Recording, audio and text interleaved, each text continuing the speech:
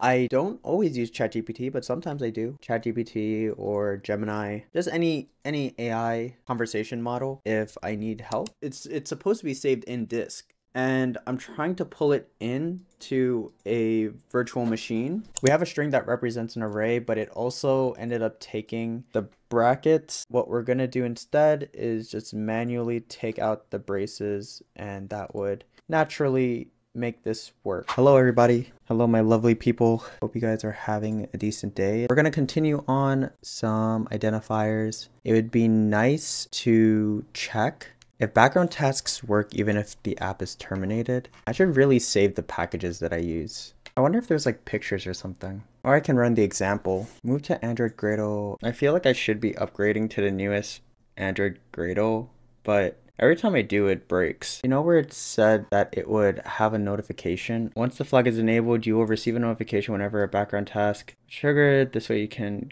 Oh, you know what this is? Maybe it needs to be on an actual phone. So let's try that. We have a pixel here that I use for testing. We are going to try and see if we can get this to work. So we'll connect it to our Android. We'll see what happens when we background it. Now we need to pass in data that we want to use. The thing is that we can send data over, but it doesn't matter. What matters is the data that is currently being seen in this moment. They're actually just grabbing the data. Let's delete stuff we don't need. And essentially, and we would have to invoke a method to return a list of apps not related to our model. We can probably just create one of these, right? Oh no, we need a build context. Actually, there's no build context in isolated world, right? Let me double check that that's true. There's no context unless we build a widget. And if we build a widget for a build context, it doesn't really do anything. It kind of just adds a lot of plumbing that we don't need. What we would need from our app is the list of blocked apps. Let's see, at this point, when it's inactive, hidden, paused, canceled. So that's the order. So hidden, paused, can Okay, so it should save everything. So let's choose maybe like schedule list. Yeah, let's do schedule list. We're just trying to see if we can get some values here. I'm waiting for this thing. Okay, so second period task started. Like this started, but it didn't call back. I'm pretty sure that um that I don't even need to use a uh, a phone. I'm pretty sure I could use an emulator. So we're going to try this out. This is probably going to crash my program, but we ball. Okay, so this is working now. We have to do two things. One, we have to go into our settings menu and go into our applications, apps, and this one, let's turn on notifications. Let's go back here and let's reset this. And there you go. Now we see all of the notifications. Well, this is clearly not working pretty sure if I printed this right here, if I did this, I mean, we can we can find out pretty quickly if uh, this updated with the refresh. Yeah, that is from the Android app. That's annoying. I don't see a null statement. Oh, here. Hidden, paused, null. Why does it keep doing that? Where Where is the sound coming from? I'm pretty sure it's through this. Okay, so this does work. This is grabbing the profile. Why does it keep ringing like that? What is happening? Oh, here we go. Later. All right, let's see here. It's null again. I wonder why it's doing that. Yeah, these definitely need a await statement, but the await statement shouldn't bother this. See, schedule list, and it has a schedule. So now if I do this, this should now show a scheduled list. Okay, so personal profile is the thing that gives it because personal profile is a string that holds all the other properties. Try doing this. Let's refresh this, see if that works. We're running this, this forward. Let's see if this is still null. Hopefully it's not. No, it is null. Dang. Yeah, this is null. It's an isolated environment. In order to make preference lookup via get, synchronous uses a cache, which is normally updated. Usually this is implementation detail that does not. You should call reload on the instance from it to update its cache with any external changes. If this is problematic, okay, so apparently you could do reload. And if this doesn't work, that's totally okay.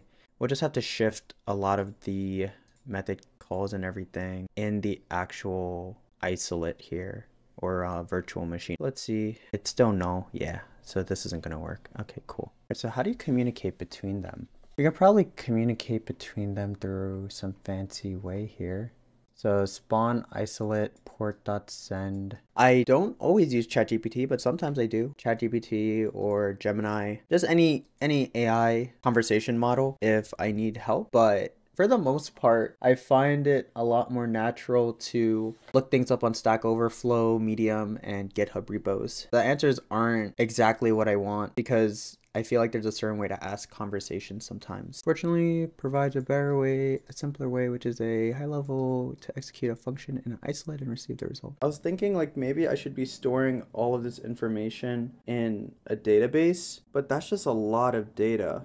Pretty much there is data cache in our main thread right here. There has to be a way, by the way, to rename these so they look different, but pretty much one of these call stacks in main is our main thread, and then the other two are virtual machine threads that are created that are in isolated environments. And I'm trying to get information from the main thread. I'm trying to get data from the main thread, which is saved. It's it's supposed to be saved in disk um, using a shared preference, which is like a, a data storage plugin and I'm trying to pull it in to a virtual machine, but it doesn't seem to be working at all. Communicate from different engines is needed in this situation. Currently, I solved this problem by starting an HTTP service. Oh, that's kind of smart. HTTP requests in our app. I mean, as long as it's all local, it doesn't matter, right? They're close to working on it but it's not working yet. We should probably move this out because this is going to get very noisy. I don't know if VM entry points need to be in the same file as main. I also don't think it has to be called callback dispatcher. Let's just make a new folder and we'll deal with everything else later, right? This repository is getting kind of lit. It has so many sections. This is going to be background. I wonder how I shift in between uh in between files on VS Code. But we could just do something like this. Uh, we can save this. We can put this in here. I don't think we need shared preferences right now. It's supposed to do this every five seconds. Do we want to instantiate an app list every five seconds? But we can do this for now. Okay. We're gonna take out debugging. We don't need that. What is this? This is also for debugging. Don't need that. We should also remove that from the main function as well, but, and I guess we can do this. That pretty much solves that. All right, so with this logic, we need to send over the list of block apps. We should really have all of this be in uh, the callback, right? This should be one function. It should be, honestly. We can put it here for now. Void trigger or um init background thread background test callback dispatcher parallel thread or a background thread and then we can kind of take things from there once things are working all right this looks pretty good we should add a comment to just say initializes uh, background tasks that pull up to date usage data for apps on a device and determines up to date usage data for apps on a device and determines if an overlay should be triggered. Now this all depends on one thing. It depends on overlay main. Like where is overlay main called? Okay, so it's only called there which means that it's tied directly to the third party plugin, which means that it should be okay that we're not calling overlay main because we'll call it through flutter overlay window or whatever it is. And then the next thing to do first we need to see if blocked apps gets passed in. I mean i guess like the logic is here except this doesn't really. I guess we'll do it underneath here because we're trying to replicate that. Um something similar to converting the JSON object that we get into a list that we can use. So the first thing we need is our personal profile or our user profile that we're passing through. And that'll be here. And locked app list is going to be just going to be a list, a list of profile apps. It says we can just cast it. So we'll try this out. Okay, so this does work because of strings, which means that it's not being converted properly, but this still isn't being, okay, so clearly this is a, this is a joke because profile app we made it so that the string when this is converted to a string it converts package name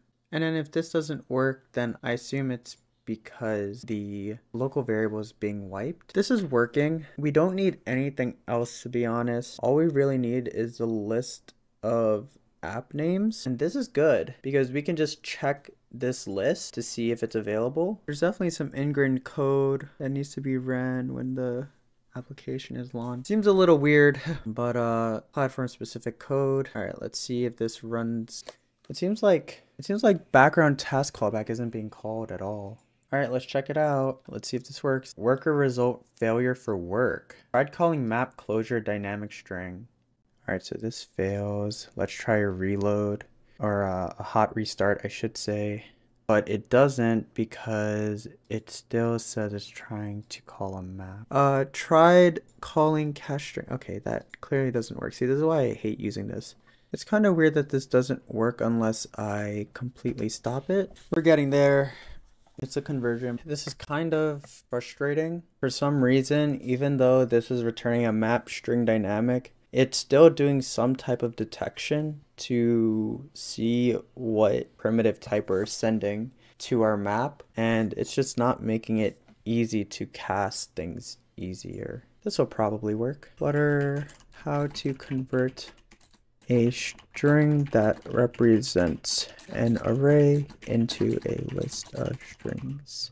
Okay, so this is kind of hacky. We have a string that represents an array, but it also ended up taking the brackets and I was trying to find a way to do it properly, like to convert it, convert a string that represents an array. I don't think there's a way to actually remove the brackets. What we're gonna do instead is just manually take out the braces and that would naturally make this work. This is a list of strings, so you don't see two braces here. And this is just pumping out every time. We check if it's empty. If it's not, we do this. And either way, we're just printing out the block uh, well, we're not printing it out. We're using it in this uh, for loop check. But yeah, this would, um, this logic works fine because the only time we're worried about updates to this blocked app list, but the only way to update it is by going back into our app and if you go back into the app and you background it again, it cancels all of the the backlogs of background threads